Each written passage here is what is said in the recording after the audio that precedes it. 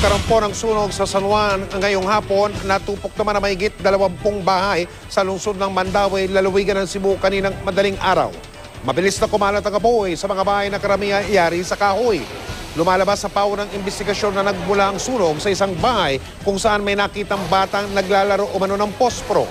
Ayon sa Mandawi City Fire Station, pang-apat na sunog na yan sa kanilang lungsod ngayon pa lamang buwan ng Disyembre. Samantala, sa lungsod naman ng Davao, nasunog ang isang gusali kagabi. Bago ang sunog, nakita raw ng gwardya na pumutok ang transformer na kalapit na poste ng kuryente. Lumalabas sa tala ng Bureau of Fire Protection na mahigit 10,000 at 200 na ang naitalang sunog sa buong Pilipinas mula noong Enero hanggang Oktubre ng taong ito.